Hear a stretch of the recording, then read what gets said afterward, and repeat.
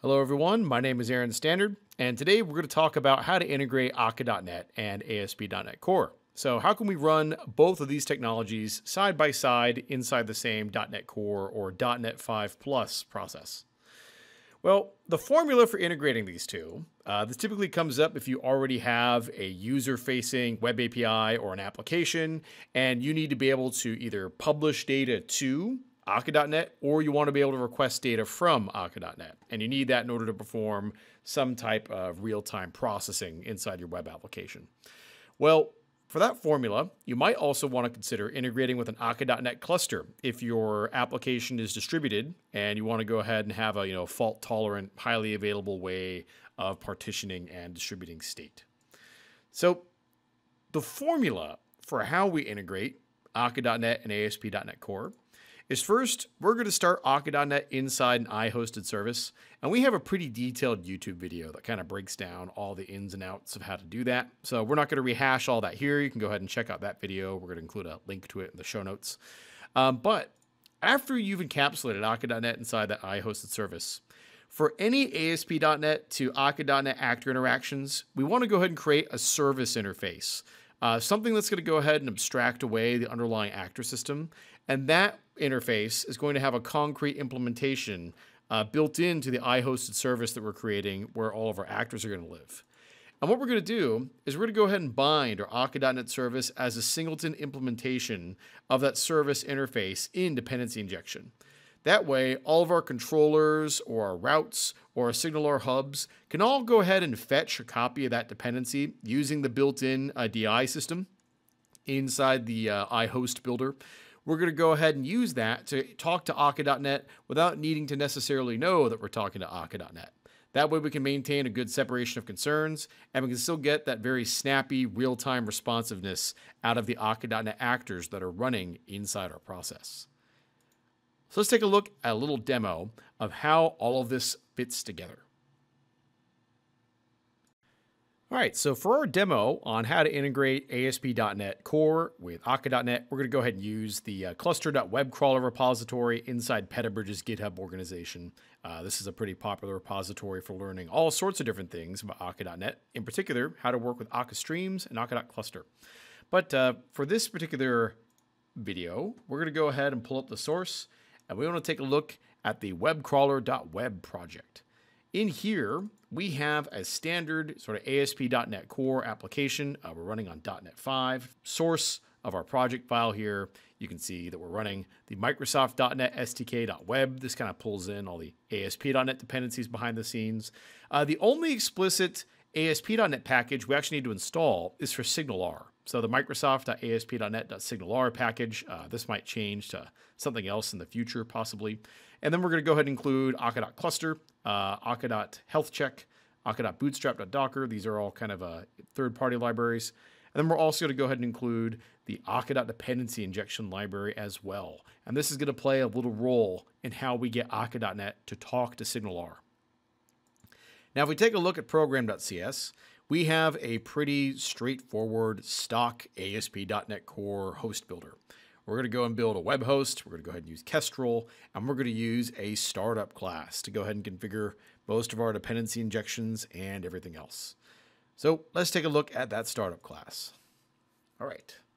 So if I scroll down, we're going to go ahead and configure some of our normal ASP.NET stuff. So we're going to add controllers with views since we're actually using a controller with a view in this sample. We're going to turn on SignalR.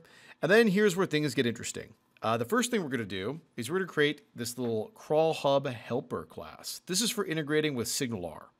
And this crawl hub helper takes an iHub context.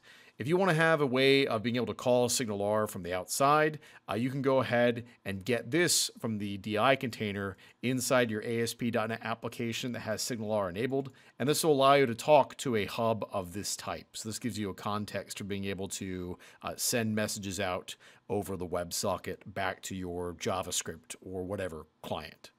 So that's what our crawl hub helper does.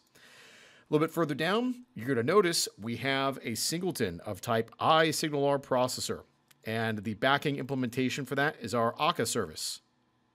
You'll also notice that our Akka service is a hosted service down here, And we're going to go ahead and have the service provider get a required service reference for this iSignalR processor, and we're going to convert that via casting back into an Akka service.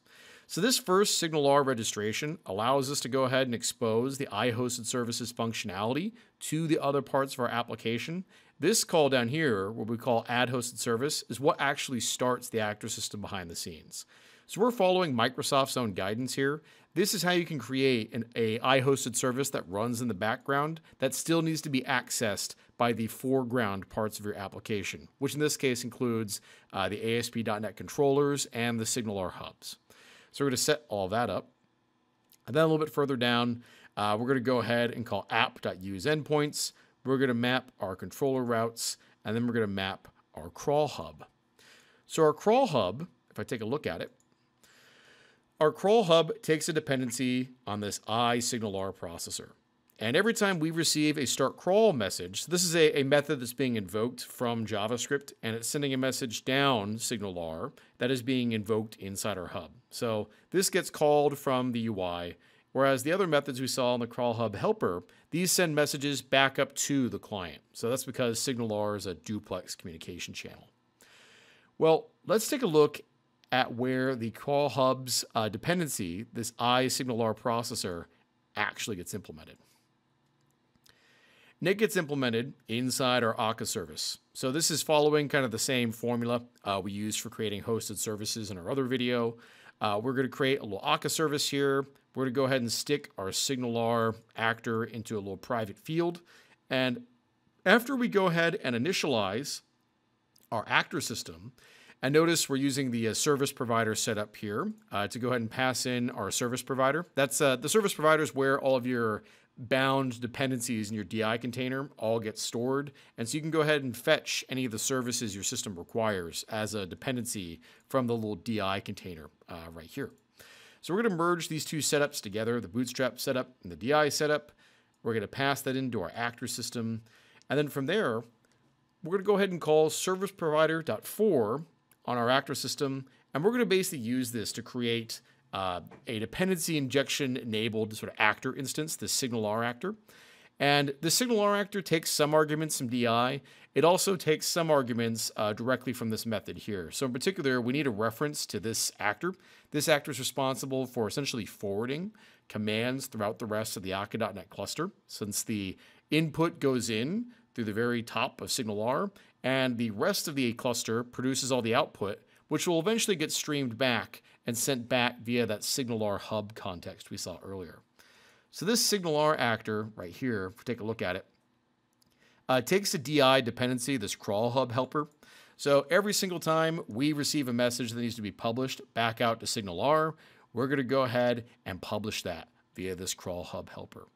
So that's how we're going to go. We're going to go ahead and establish some uh, two-way binding of dependencies between SignalR and Akka.NET and this is going to work without a hitch. Now, I've already compiled uh, this application into a bunch of Docker containers. Uh, you can do that if you clone the solution by typing build.command docker. But I'm going to go ahead and use the docker compose file that's in here to spin up a little local network of all these different services. And we're going to go ahead and take it out for a spin and see everything work in action here. So I'm going to go ahead and pull up. I think it's a local host 8808. There we go. So we've got our web crawler of doom. We're going to go ahead and crawl, let's say, the petabridge.command website. And looks like we can see some messages that got sent from SignalR and some output coming back from the rest of the actors inside our cluster. So lo and behold, that's how you can go ahead and integrate Akka.NET and ASP.NET. Uh, and that's how you can integrate Akka.NET and ASP.NET together rather easily, just using the Microsoft.extensions.hosting abstractions and a little bit of dependency injection.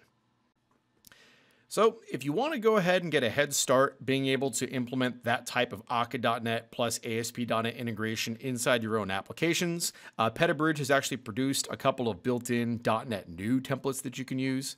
All you have to do is run this command to go ahead and install the latest version of these templates on your machine.